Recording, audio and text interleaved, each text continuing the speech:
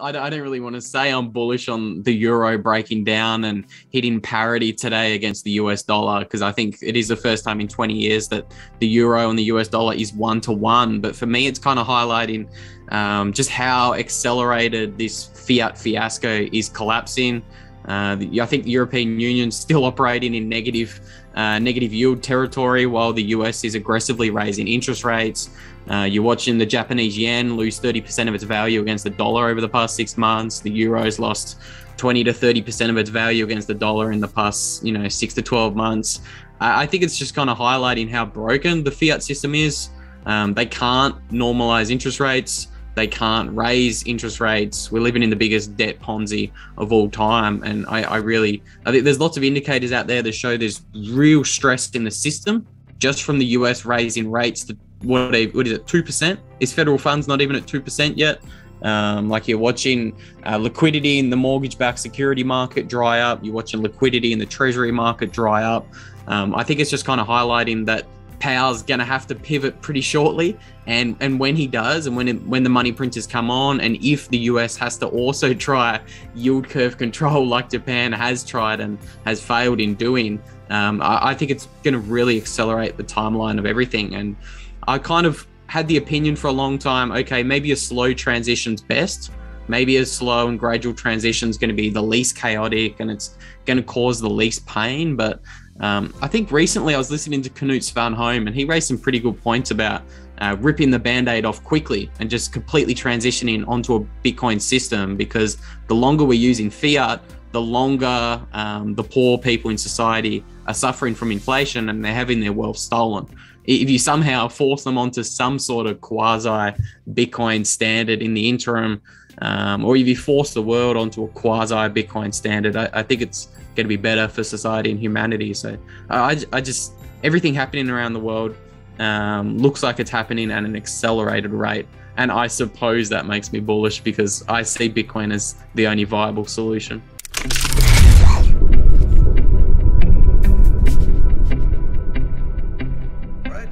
Welcome to the show. My name is Keyvan Davani, the host of the Keyvan Davani Connection Show, and really excited to have Matthew Mezinskis back on my show after a very long time. Uh, Luke Mikic is also going to join us in a few minutes, and but we're just gonna you know just take it off uh, and Matthew, you don't need no much introduction. Welcome to the show, by the way, and uh, just maybe still do give a short background. Like you know, you are the co-founder uh, of of the Crypto Voices podcast, and is there anything important like we should mention about your background? Because you, uh, we already had you on my show. Sure, Keyvan. Sure. Thanks for uh, thanks for having me on. Uh, I hope it all comes through. I'm I'm getting a little bit of spottiness on the connection here, but um, I think it'll probably settle out after uh, after some time. But yeah, um, everything's fine, bro. Yeah. Yeah, at least you're hearing me fine. Um, so yeah, I have a uh, podcast, Crypto Voices. Had that running now for um, uh, I guess five years, and um, started it uh, just before the ICO boom of 2017, uh, and mostly focused on you know money, Bitcoin, economics, and cryptocurrency. Um, and then from uh, the start of this year, I've been working on sort of trying to professionalize a little bit more uh, some data that I put out every quarter, uh, which is focused on the global supply of base money which is uh, basically all of the physical currency that central banks put out um, and all of their uh, so-called bank reserves, which is basically the other main liability line item on the central bank balance sheet. And those two items put together are base money or the monetary base. So I think I've done a decent job of putting that together. Kind of started as a hobby, now trying to professionalize a little bit. Um, be doing some YouTube content uh, as well uh, shortly on some more some more of that uh, type of data and just following that stuff. So yeah, that's pretty much what I've been doing, you know, following Bitcoin for a long time and definitely think it's going to be an important uh, factor in the world of, of uh, money as many do in the next few years. So it's going to be pretty interesting to watch. Yeah, and I noticed you you your website. I don't know, is it a new website? Is it like super like polished like? Uh, uh, porkopolis.io uh, co-founder. I said one of them is, which I who also very highly respect, is Fernando Ulrich. Uh, uh, is that like doing it together with him and some other co-founders? Yeah. So uh, Porkopolis is the uh, is the new brand that's kind of focused more on broader economic trends. It won't just be about Bitcoin. Uh, of course, I always followed gold and silver even before. Um, but we'll have some different monetary things that we're following, different countries. Um, just trying to bring data in in a nice, consistent, uh, systematic way. And that's for a while. I was going to do kind of like a dashboard function on the website. Uh, would be pretty interactive with users, but that from both a cost standpoint and I think a time standpoint won't serve myself or users well at this point. So I'm going to probably run a lot of it, the numbers and the research and the data I've collected myself on YouTube uh, relatively soon. So that's this Porkopolis brand, and that's the monetary base quarterly updates, which I've done for four years now, uh, is included sort of in that. Uh, the Crypto Voices podcast still stands as well. Um, Fernando Ulrich was my co-host for a couple years at the beginning, uh, and then now we have uh, two co-hosts uh, they've been with me for a little over a year now. Uh, Alec Harris, he works for a company called uh, Halo Privacy, uh, and he uh, has very interesting clients around the world, both in crypto and not in crypto, and very focused on privacy. So he adds a lot to the show. And then Michelle, also known as Keto Keto Miner, um, one of the co-founders of Nodl, as well as a co-host. So um, podcast is still going going strong, and uh, that's that's uh, this sort of the two two brands that we have running right now in this independent research that I'm doing. Awesome. Yeah, looks great. Yeah, we're just uh, screen sharing here.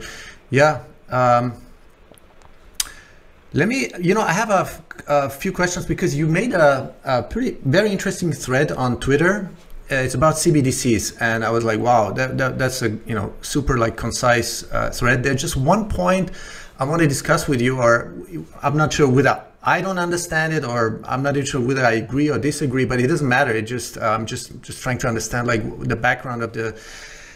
Um, yeah, let's start off uh, with that question maybe. Um, let's see how am I gonna. Um, yeah, so this is your this is the thread about the CBDCs. Let me see. Let me, where is it?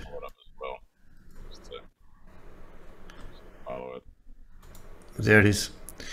Yeah. So um, you start off by saying, you know, there are two main, main reasons why your monetary pipe dream of a panopticon won't materialize anytime soon, if ever. Because, yeah, for me, also from my perspective, CBDCs means total control, absolute control. As they, you know, also Mr. Agustin Carstens from the Bank of International Settlements also admits it. but if you go down, uh, scroll down, because there, because I've been hearing, like, listening to some other whatever experts or macroeconomists or you know people who who, who really dig into this CBDC because you talk about CBDCs and the CBPC, which I first had to you know uh, I was like confused like what is CBPC? What do you mean like central bank physical currency, uh, the stock of it, and you talk about. I think that was a. Uh, I think that was a moment of clarity for myself as well, writing this post. I, I've never seen yeah. that. Let's start calling it CBPC. Yeah, it's been around for thousands of years as well. Well, hundreds of years, central bank, thousand years, uh, physical uh, banknotes.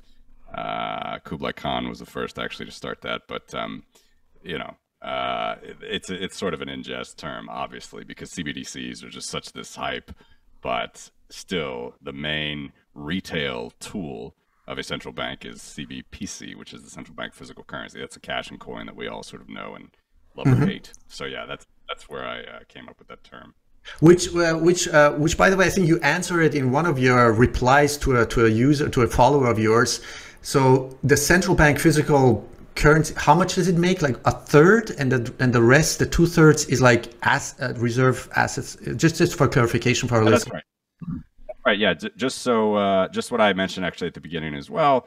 It's this sort of uh, term that maybe a lot of people use but don't quite understand. But base money, monetary base, high powered money, reserve money, all of those things mean basically the main uh, monetary instruments of the central banks. A lot of times you hear about interest rates and bonds and money printing, but at the end of the day, you can count this stuff up. A lot of people don't like to do it. And uh, to my knowledge, I'm the only one that's actually done it on a consolidated basis, sort of globally. I've gone through 50 central banks, actually gone through more, but I have the top 50 central banks in the world uh, compiled here. Uh, if you look in the liability section of each central bank's balance sheet, there will be two main liabilities, which if you add those two up, it almost totals the assets. So it's basically the size of the balance sheet. And those liabilities are one, uh, this physical currency, CBPC. Uh, that is the uh, banknotes, coins, things that we understand. And there's a small asterisk there, not to be too confusing, but uh, some legacy central banks, meaning like earliest central banks like the Bank of England, Federal Reserve, uh, they don't have coins on their balance sheet. The coin sits with the treasury. That has an old sort of thing, has to do with gold and whatnot. But coins are so small anyway. Today it's kind of nebulous. It still is calculated separately. Like I do include coins in the monetary base. But anyway, uh, it's, you know, banknotes are the main portion of that.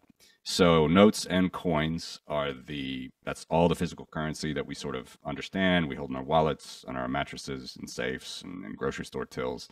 Um, that is about one third of the monetary base. Uh, it used to be about 80%, you know, for years and years before, before the financial crisis, about 80%. So that was kind of normal central banking pre financial crisis. Uh, and then after the financial crisis, when you had these, this buzzword, quantitative easing, uh, money printing from central banks, uh, this thing, this, this other thing, which is called the commercial bank reserve account, uh, bank reserves, uh, sometimes it's called just the deposit account or the master account for a bank.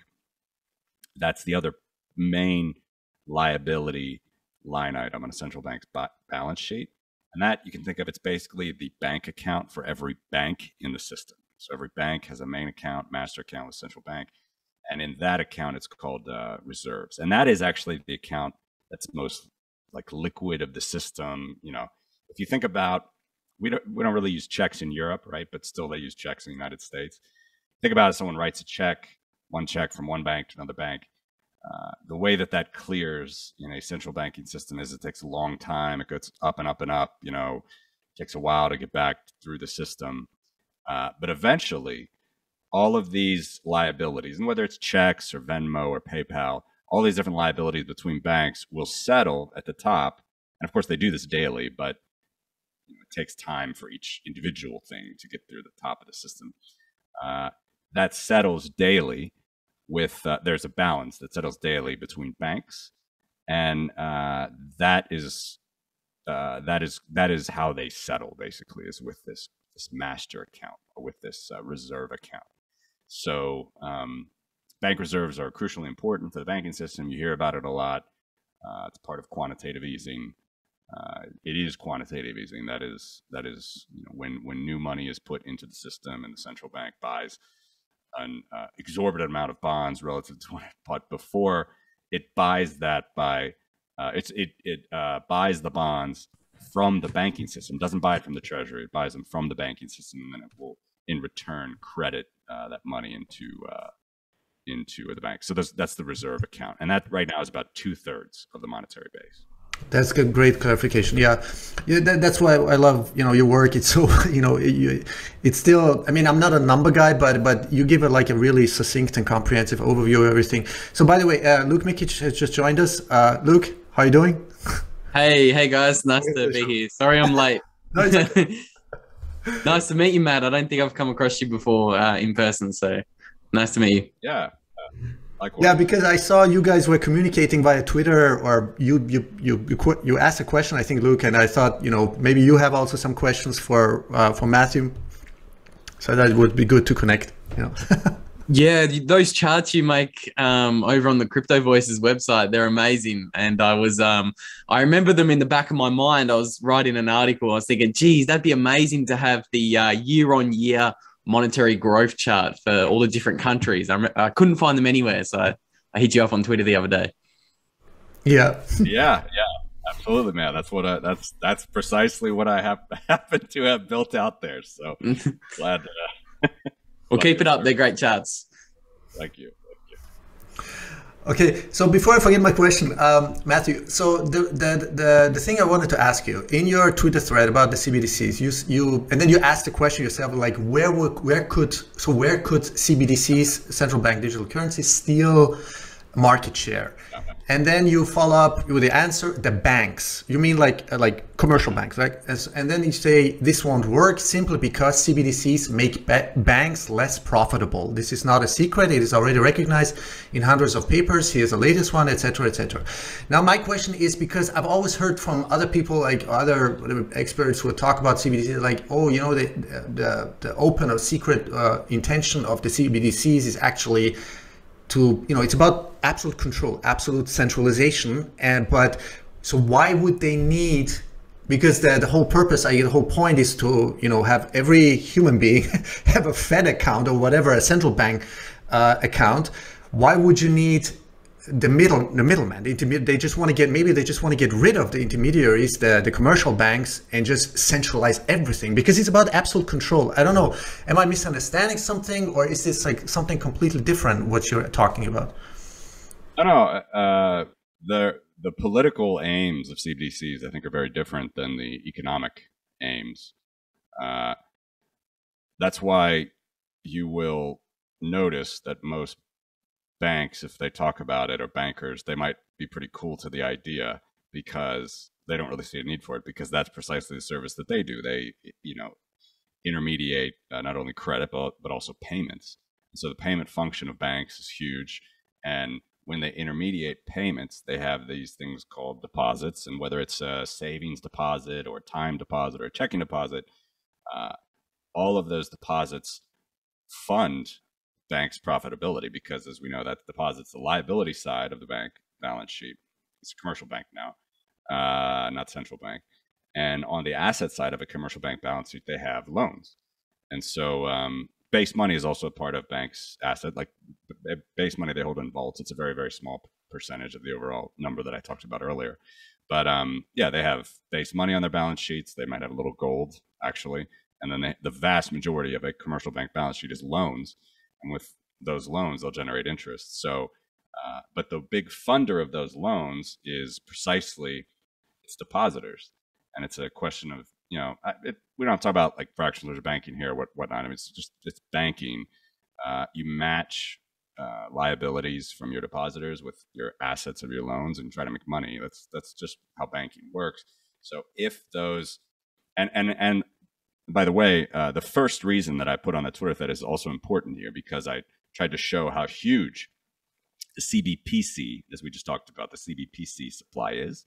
You know, it's it's uh, it's nine trillion dollars. It grows at ten percent a year. It doubles every seven years. It's massive. You have no idea how big this is, really. I mean, because in the in the developed world, we think we don't need cash so much or whatnot, but it's still huge. You know, world population only grows at a percent to a percent and a half percent, one point five percent per year, whereas this uh, CBPC stock and reserves grow even faster, by the way. But the other part of the monetary base, but CBPC, central bank physical currency, grows at 10% a year. So that's not going away anytime soon, no matter how much they want to say it is. And I use the example of India as well because they demonetized. Uh, they they did replace with other supposedly more secure. Uh, they had those uh, those uh, what is it called? Those glyphs, you know, that like the the fancy things that are supposed to make the bank notes more secure and less less uh, less forgeable, less uh, God, I can't even speak, less less copyable, right? Where you can uh, counterfeit. Counterfeit's the word. Uh, they had all those things in India with these new banknotes, but still, they they collapsed the money supply almost in half in 2016, and now from that bottom bottom point, it's like over three times higher. So ask yourself, even in India, it's a huge player. It's like sixth largest monetary base in the world. Well, maybe, yeah, I think it is. Um, no, it's not. It's it's actually outside the top ten, but uh, it's a it's the fifth largest economy block. All these different things. I'm trying to these rankings, but it's still it's a massive economy, large monetary base, and they tried to control it. They tried to in 2016 really take the and and they use as an example more digitization in the economy, more uh, transparency, less counterfeit, less black market. These are the words, the buzzwords they themselves used. Uh, just trying to get physical currency outside, out of you know drained from the economy, and they couldn't do it. It's just too important for low income trade, uh, low vol, you know, uh, the low volume trade. You can say like low dollar amount, roughly speaking, trade, and it's just very very important for uh, many many people. So that was the point of the first reason. It's just it's massive. It's bigger than you can imagine and then, so that means that this, the CBDC stock, it, it sits in the same place. It's, it's on this bank reserve, CBDC, a CBPC, right? And then CBDC. It's going to be this third form of base money. It's going to be a liability of the central bank. So if central banking, if it's CBDCs, uh, there's going to be this new retail money, if it's not going to take away, which is my claim, it's not really going to take away market share from uh, CBPCs, central bank physical currency, which is like $9 trillion. It's not going to cut into that. And central bank physical currencies flying high at 10% a year growth. And most of that, by the way, is in recent years, was even higher than that because that was a 50 year compound growth rate that I gave 10%. In recent years, it's even higher than that. So it's not going to take away from that bucket. The only other retail bucket out there is the banking system. So that's the point about profitability, and it's in all the papers. Like it's they know it. Uh, if you have a central bank digital currency, like an app that's with the central bank on your phone, and it, it's supposed to be cooler and better and more awesome than Venmo or PayPal or all these other bad banking apps, uh, you users and they really do go to CBDCs that will drain that will drain the deposits of the banking system, which are the things that funds bank loans. It's just what funds banking. Um, so that would make banks less profitable, and that's they they know it. This is why you'll hear as well. I'm sure you've heard you've heard this, but a uh, standard recommendation for CBDC CBDCs to start is that we limit it per person. There only be about you know you can have a thousand dollars equivalent of a CBDC to start at least until we figure this out right? They, they want to they know that if if it if it really is supposed to be this great thing and you know it's easier to use whatnot which is debatable in itself right it's probably going to be hacked you know central governments can't even run you know healthcare systems how they can run a you know retail like digital monetary system uh then uh, it just you know it just follows that it's something that's probably overhyped probably not going to work that well and if it does, it's going to take out profitability from the banking system. So they they're they're already saying in all their papers, yeah, well, we're going to have to limit it to uh, you know thousand dollars per account. okay, gotcha. Okay. Mm-hmm. Um, Feel free to follow up. Yeah, if I'm, I mean, we can talk about it. It's, it's yeah. Interesting. Uh, look, before I forget, I was going to introduce you since you were popping in too late. Uh, you are the co-host of the Bitcoin Simple podcast, uh, right? Yeah, Bitcoin made simple. Yeah, Bitcoin made simple. Exactly. yeah. So um, yeah, I have a few other questions, but um, look, uh, you can just you know chime in where you know. Yeah, on CBDCs, I 100% agree with Matthew. I, I think they're really, really overhyped. Um, I, I, think if you had asked me about CBDCs in 2020, just maybe two years ago or even 12 months ago, I probably would have had a very different opinion on them than I do now. I think in 2020, uh, they were saying, yep, the year that CBDCs are going to ship around the world is 2022. We expect CBDCs to be out in about 24 months, maybe 36 months, 2023 at, you know, the most. But, you know, 2022 is here and I don't see many CBDCs around the world. Um, was it Lael Brainard from the from the Fed this week came out and said, yeah, CBDCs in the US are still five years away. Um, so I, I, agree with Matthew. I think um, I think central bankers are extremely incompetent, and if CBDCs are you know three years away, or four years away, or even five years away, um, I can't imagine what the adoption of Bitcoin will be in three or four years' time. So I, I think um, I think they're certainly kind of pushing a pretty big boulder up a very steep hill, trying to roll out these CBDCs quickly. Yeah, and that physical stock of currencies will be all the time increasing, maybe doubled. So that's the thing that they're supposed to be chipping into, right?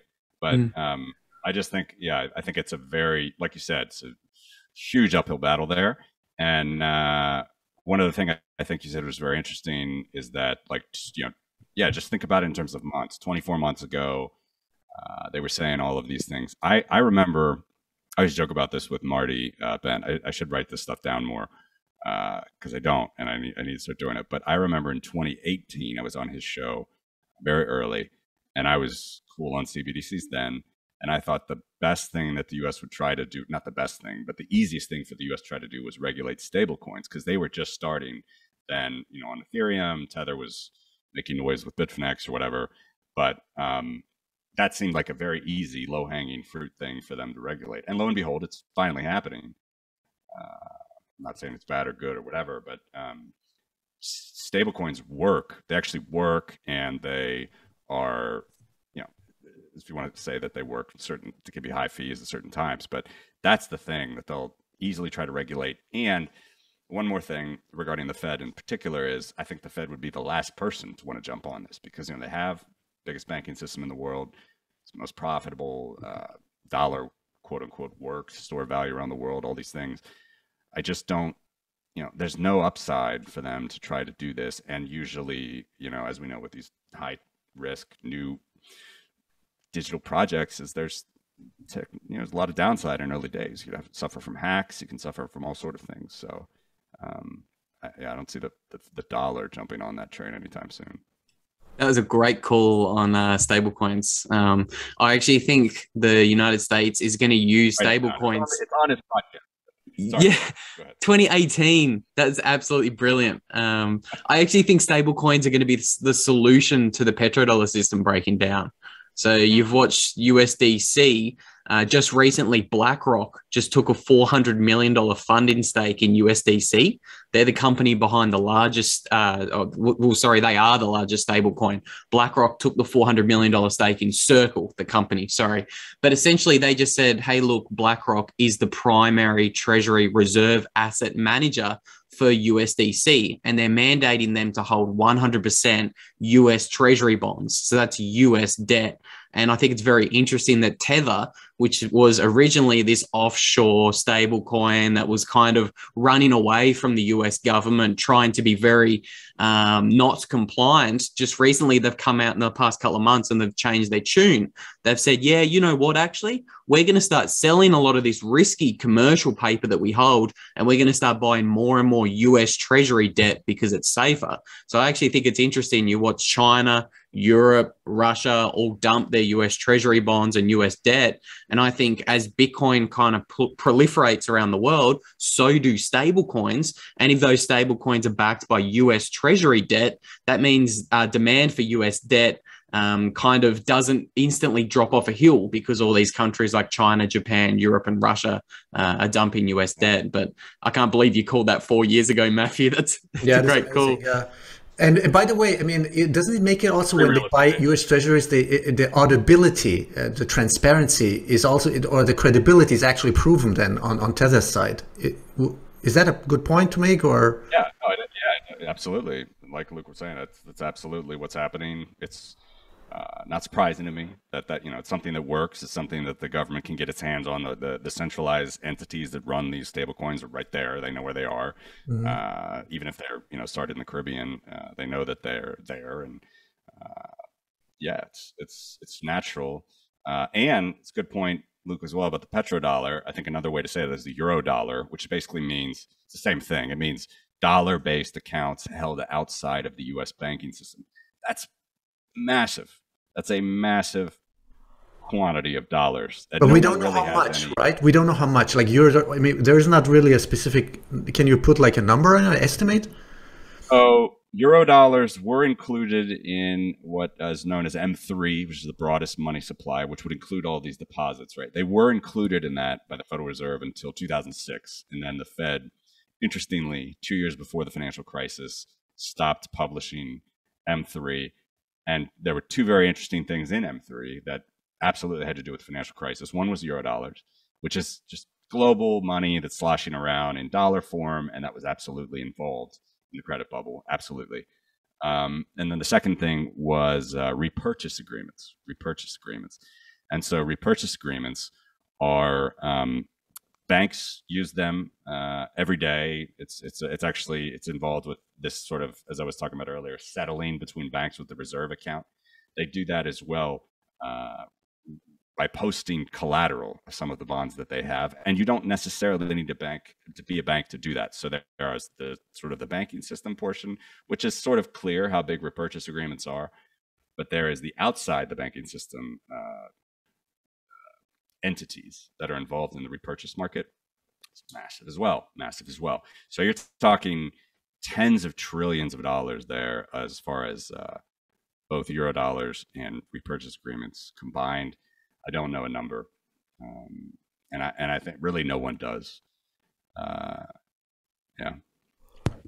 I've heard some pretty large estimates. Uh, I think there was an official paper on Eurodollars 2012 or maybe 2014, and they said it's like 14 or 15 trillion, but I've heard other people say it's north of 100 trillion dollars uh, worth of US dollars out there. So that's actually larger than the amount of dollars circulating. Um, that's actually the, the Fed admits to, like the M3 money supply in the United States. Yeah, that's that's massive. 100 trillion. I mean, wouldn't that would seem large to me, but it wouldn't surprise me. You never know how this stuff works. Uh, there are interesting numbers though that you can almost be sure that dollars are a huge amount of those, like the Paradise Papers, Panama Papers. If you added all those up, like all of them, those recent sort of last five, ten years sort of papers where they, you know, offshore accounts, that was something like 30 trillion, uh, maybe 25 trillion if you added them all up. So yeah, you compound that, you could absolutely get to 100 trillion. That's mind-boggling. No one actually. yeah, even the banks themselves, the Fed themselves, they they don't have control of it. So interestingly, uh, stablecoins might play a role in shoring up, so to speak, uh, these markets, and it might actually make them more transparent. Might actually make. Uh, I I don't know. I again, we're Bitcoiners here, so I don't I don't have a particular like dog in that fight, but um, yeah, that's where. Yeah. You know what's interesting, uh, Matthew and Luke. Um, uh, you know when you listen to Samson Mow, you know the CEO, former uh, CSO of Blockstream, and now uh, founder and C- CEO of uh, Jan3 for nation-state Bitcoin adoption. He, I mean, he's a total advocate of, of stable coins, but he, uh, at the same time, you know, a, he says that stable coins are somehow, I mean, th- I'm just paraphrasing, it's sort of more transitory. It's, they're going to be either not be, uh, what do you say? Abolish not maybe abolish but they're going to go away or something. I mean what do you make of that? Is that something like a, uh, just for the transition to a hyper-Bitcoinization phase or where do you see where do you see that going uh, long term? Yeah i don't i don't uh, well i don't necessarily know his views. Uh, i i would say generally um, i don't really know samson but um, i don't myself have much interest in even how much nation state adopting of Bitcoin there is. Uh, talk about this a little in our podcast. You know, again, I'm not I'm not virtue signaling here, but I just don't. I think it's great if you can find freedom and you can find interesting way of life in El Salvador, whatever, uh, certain places around the world.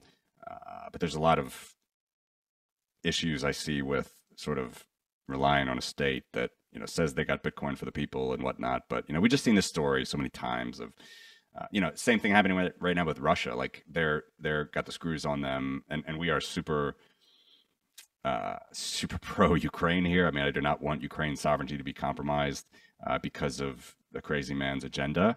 Uh, I know a lot of people are worried about nuclear threats and whatnot, but you know, nobody's talking about invading Moscow. We're talking about what Moscow did to Kiev. So uh, these types of things, like dictators do, I really don't like. And you know, I talk about this a lot. Uh, you know, thousand years from now, maybe we'll all have private property, private insurance, private defense contracts, all these things. But right now, uh, I think sovereignty for an individual in a country is very important.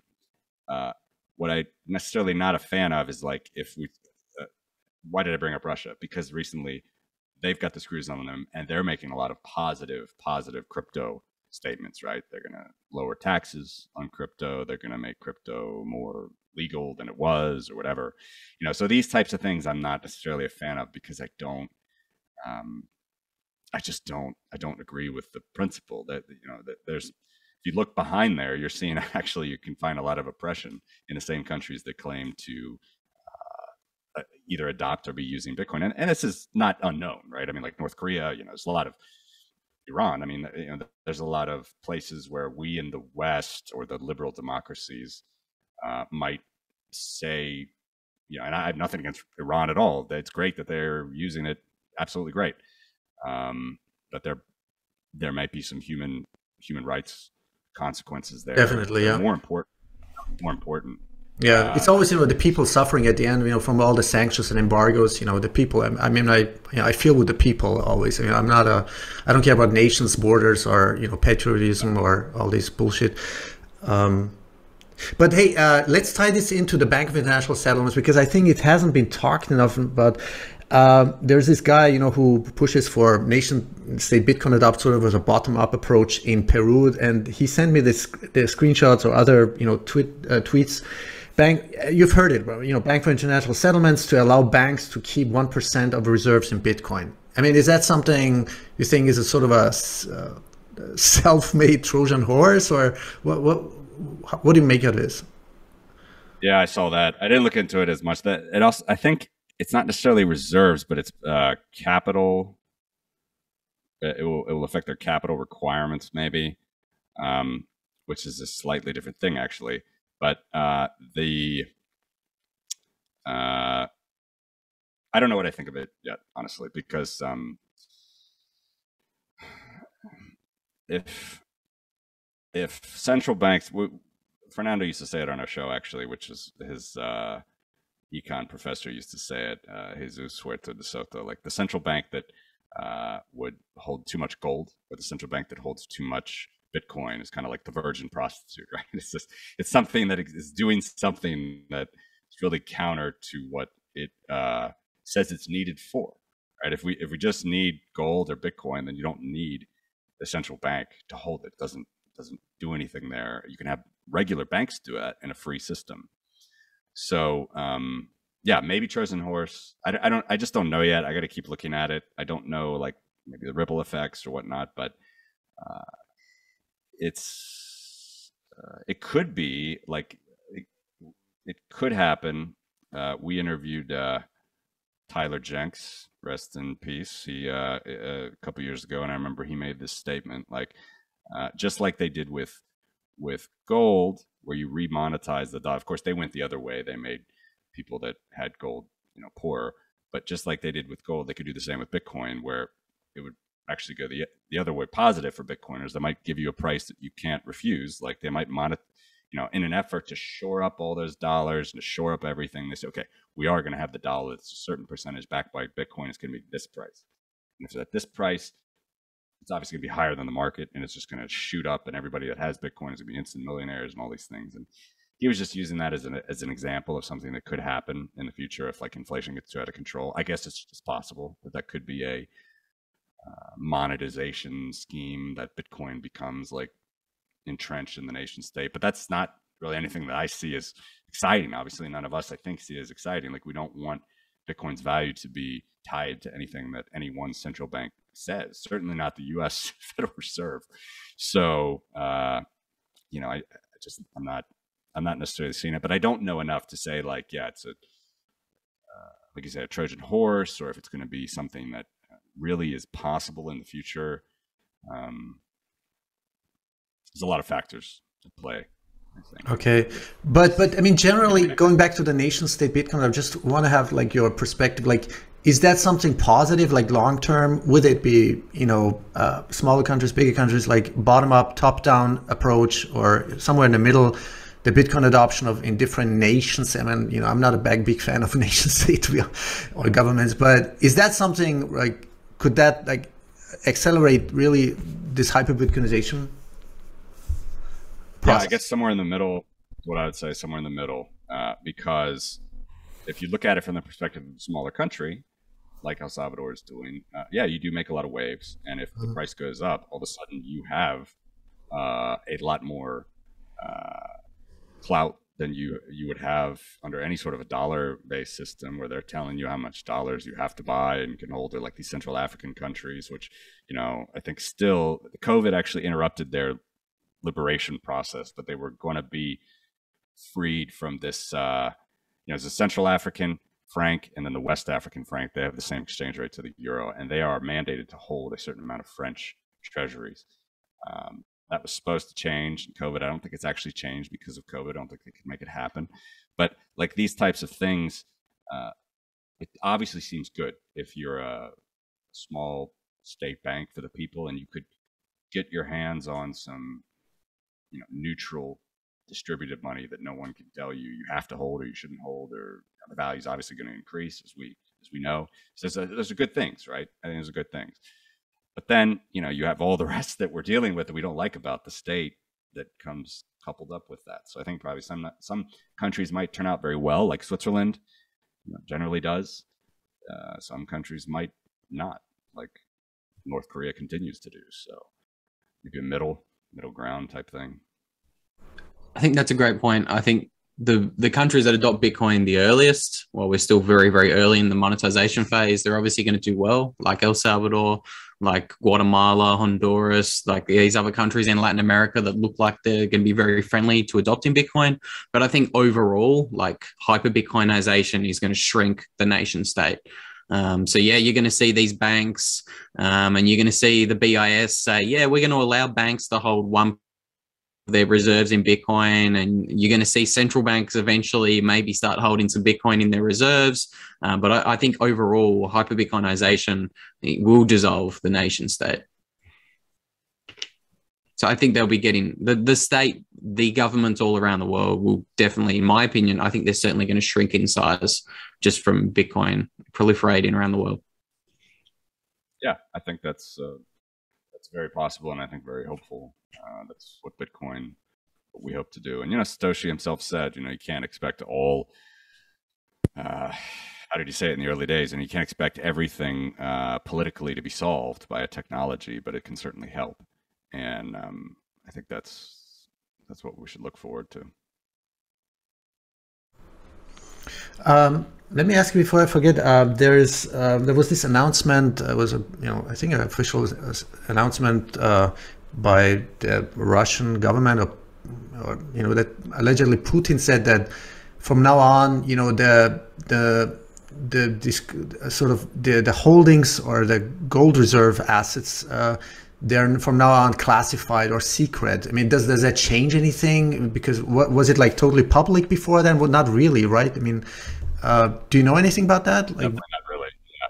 I mean, people argue about the state of the U.S. gold reserves. Right? They have it on their books.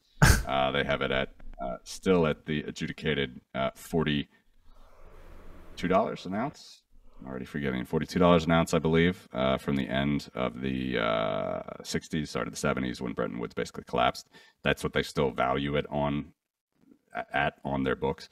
Uh, but then, of course, everybody has speculated GATA being first and foremost uh, the Gold Antitrust Action Committee. That gold, that uh, basically the the banks, in conjunction with the Fed, have lent out a lot of that gold, if not all of it, uh, to suppress the gold price. Uh, but at the same time, even though it's lent out, they still record it as a gold asset on their balance sheet, even though it's gold receivable. So that's a huge like red flag. I mean, it's not there. If it's if it's not there, that's like a huge thing. More for I think the dollar than Russia. Russia's reserves are minuscule, uh, actually, uh, compared compared to the at least the the, the dollar based assets of the Federal Reserve. Right. right. It's, uh, seven trillion. Is it over? Is it even? Is so over seven? I should even know that right now. I'll look that up. Uh, many, many trillions, close to 10 trillion roughly, which is just insane, dollar central bank, and the gold reserves of uh, Russian central bank, a couple hundred billion. Uh, it's absolutely, you know, not meaningless numbers. I mean, but uh, those things will be tracked, by the way. Uh, there are many, I, I, like to track some of that gold stuff. I get some of it from a very nice professional Australian gentleman. Actually, he's, he's kind of, I think, getting towards the end of his career, but his name is Nick Laird. Uh, he's followed this stuff for many, many years, and he tracks a lot of the gold reserves, gold production values uh, independently. But then, of course, you have uh, the uh, gold, uh, gold uh, World Gold Council, WGC, WGC World Gold Council. They track this stuff a lot, and they have made speculation, by the way, that Turkey is kind of saying that they have more gold than they do. So they really have the pulse on that stuff. So um, yeah, I mean, it's definitely it's all part and parcel of this whole story about Russia. Um, energy is a huge part of it. Uh, gold. Actually, I just I just gave a tweet. I like to you know follow these numbers numbers every once in a while. I just tweeted it just before the show. Um, let's talk about the value of some of these markets. Mm-hmm. Uh, and by the way, China's China's gold holding is also like shrouded in mystery. Like they talk, some some people talk about like twenty or thirty thousand tons. I mean, it's it's like a total yeah. like yeah mystery. Yeah. Yeah. yeah, China holds um, 20.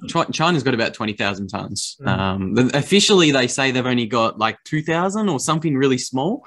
Their official holdings are like 2,000 tons. But if you actually track the amount of gold they've imported since 2008, and you also track the amount of gold they've exported since 2008, it adds up to about uh, 20,000 tons because the, the gold the gold producers um, and miners in China, I think a large majority of them are mandated um, to not actually sell that gold and export it overseas. So uh, a lot of the estimates I've seen point to about 20,000. Wow. Exactly. Yeah. That's another, uh, uh-huh. exactly another example. I think uh, World Gold Council very much tracks and many other people in the market as well. So yeah, it is a part of it. It's part of the story. Uh, they know that gold is, you know, historical based money. Perhaps it could have some, you know, this was of course before Bitcoin hype. I think uh, certainly was before Bitcoin hype when Russia was trying to increase its gold holdings, China, uh, other countries as well. But um, yeah, I think overall energy is going to be a part of the stories. We know, I mean, we know the issues that Germany is having right now, and uh, Russia's just shut off Nord Stream one. Uh, so, like, it, it's so interesting as well living here in the Baltics. Like, we've been like yelling about this stuff for like 20 years that Russia's just it's not a democratic state. We bring them in. We're part of the G8. All of these things. We brought them to the table for years and years, and it's very unfortunate um, because they do have their thumb on the energy pulse of Europe, Germany in particular, and it's very, very uh, in the short term, I think very bad for the German people, and it's not good for the Ukrainian people because they're getting whipsawed into this political, crazy, you know, neo-fascist agenda of Putin. But they they have their energy and you know their own families to worry about. So we have we have this divided support in Europe when where Eastern Eastern Europe is completely united. Like we are not going, you know. My relatives, my ancestors were under the Iron Curtain. Like we're not going back to that. We are not going back to that in Eastern Europe. So um, you know, you got the Baltics, Poland, uh, Czechs, Slovaks, uh, Hungary is a bit, you know, they're a bit not so democratic in certain ways with uh, Orban these days, but they're they should be. Um, I think they will come back into the fold there. But you know, the Croatians, all these countries, like we are not, we're just not going back to that. So, but anyway, I, I get on these these tangents. I did want to uh, say some numbers uh, regarding total addressable market. I think this is just good for Bitcoin, but also you can see how big energy is. Um, so there's about three, 35 billion uh, barrels of oil per year that are consumed. So at 100 bucks, uh, that's 35, sorry, 3.5 trillion dollars. 3.5 trillion dollars. That's the addressable market of oil per year. 3.5 trillion. Base money, uh, it's a change in base money that I tracked. 1.5 trillion. Uh, it's actually it was if you look the quarter before, it was even two trillion. So it just depends on you know uh, depends on uh, exchange rate a lot for that. 1.5 trillion. Gold, 200 billion only. It's about 115 115 million ounces a year in, in new gold that comes online. Uh, 200 billion. And Bitcoin, 15 billion. 15 billion dollars. Only about 340,000 coins, uh, trailing 12 months. So that shows you how small from three and a half trillion oil uh, to 15 billion Bitcoin. It just shows you how how early we are. We're so early.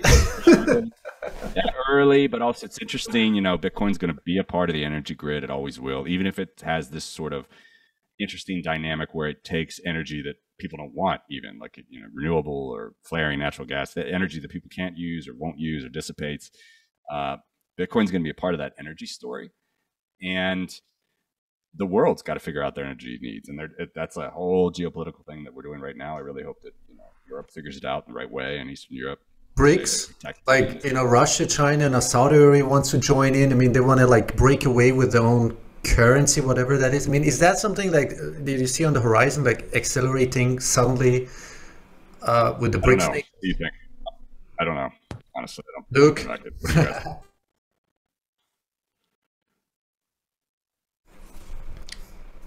Luke, can you hear us?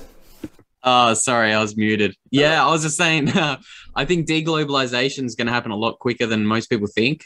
Um, like, I think the BRICS nations, they house like 40% of the world's population. And they just came out this week and said, yeah, we're going to try to create a new reserve currency. And we've all agreed to use it. Uh, so it's 40% of the world that's already said a massive FU to the dollar. Uh, I think that's interesting. Um, I am still a dollar bull. I'm still a dollar milkshake maximalist. I do think the US dollar is going to be the last fiat left standing, purely due to the euro dollar market.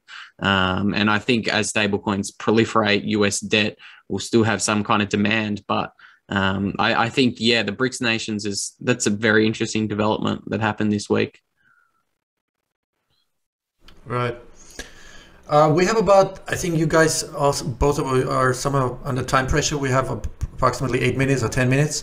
Uh, is it something like, you know, uh, makes you excited or um, bullish for, you know, let's say long term for the next couple of years? I'm. Uh, yeah, go ahead. Go ahead. No, no, you go. You go. I was, I was clasping at straws as well. I, I was just saying um, I, I, don't really want to say I'm bullish on the euro breaking down and hitting parity today against the US dollar because I think it is the first time in 20 years that the euro and the US dollar is one to one. But for me, it's kind of highlighting um, just how accelerated this fiat fiasco is collapsing. Uh, I think the European Union still operating in negative, uh, negative yield territory while the US is aggressively raising interest rates. Uh, you're watching the Japanese yen lose 30% of its value against the dollar over the past six months. The euro's lost 20 to 30% of its value against the dollar in the past, you know, six to 12 months. I think it's just kind of highlighting how broken the fiat system is. Um, they can't normalize interest rates. They can't raise interest rates. We're living in the biggest debt Ponzi of all time. And I, I really, I think there's lots of indicators out there that show there's real stress in the system just from the US raising rates to what, what is it, 2%? Is federal funds not even at 2% yet? Um, like you're watching uh, liquidity in the mortgage backed security market dry up, you're watching liquidity in the treasury market dry up. Um, I think it's just kind of highlighting that Powell's going to have to pivot pretty shortly, and and when he does, and when it, when the money printers come on, and if the US has to also try yield curve control like Japan has tried and has failed in doing, um, I, I think it's going to really accelerate the timeline of everything. And I kind of had the opinion for a long time okay, maybe a slow transition's best. Maybe a slow and gradual transition is going to be the least chaotic and it's going to cause the least pain. But um, I think recently I was listening to Knut Svanholm and he raised some pretty good points about uh, ripping the band aid off quickly and just completely transitioning onto a Bitcoin system because the longer we're using fiat, the longer um, the poor people in society are suffering from inflation and they're having their wealth stolen if you somehow force them onto some sort of quasi Bitcoin standard in the interim, um, or if you force the world onto a quasi Bitcoin standard, I, I think it's going to be better for society and humanity. So I, I just everything happening around the world um, looks like it's happening at an accelerated rate. And I suppose that makes me bullish because I see Bitcoin as the only viable solution. I agree totally. Matthew. Yeah, well put. Well put, man. Um, I just looked it up. I'm always um, thinking about the monetary base, the liability side, not the asset side. So it's it's risen. Yeah, it always rises so quick every week. It's 8.89 trillion. 8.89 trillion in assets. Uh, again, the monetary base is the largest side of that uh, on the liability side. So it's, it's the sort of the main liability entry. Uh, there's other things on liability. There's other loans as well that they have uh, on the liability side. But the um, yeah, the, if you look at the asset side, it looks even crazier. Uh, eight, you know, nearly nine trillion dollars, whereas uh, before uh, before the the COVID hit, it was going down from four and a half trillion. Four and a half trillion. It was on its way down. Um, actually, it was they they started printing a little bit before that but they were trying to normalize it. Uh, and that's another interesting thing about money printing is we sometimes think about that. Uh, we sometimes hype it up, and for a long time, the Federal Reserve was actually trying, going to Luke's point, like I think the reason why you see such a strong dollar is other central banks continue what they've always been doing, which hasn't worked, like Japan, like Europe. Uh, the Fed knew that it had the best looking horse in the glue factory. It was trying to normalize it best it could. It was trying to uh, let the rest of the inflationary markets that we live under, right? Because we don't live under Bitcoin standard, the rest of the inflationary markets catch up. Uh, it hadn't actually printed money before all this stuff. It, a little bit before COVID, but uh, it was mid 2014, mid 2014 on till about 29 end of 2019. The Fed was not printing money. Monetary base was not increasing. Asset purchases were not increasing. So that's something that people don't think about a lot. Um, now, of course, it's back to the narrative, and all of us as you know, Bitcoiners or anarcho capitalist theorists or uh, classical liberals, whatever, we're happy to talk about the money printing again, and it, it is happening again in crazy, crazy uh, ways. But uh, yeah, the dollar is going to remain the best looking horse in the glue factory for a long time. Uh, I think what we were talking about earlier about 12, 24 months can come at you really quick.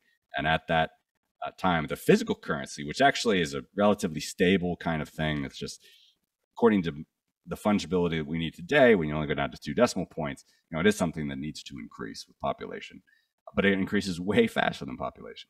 So all of these things are still going to happen on top of all of the stuff that Luke eloquently put out there.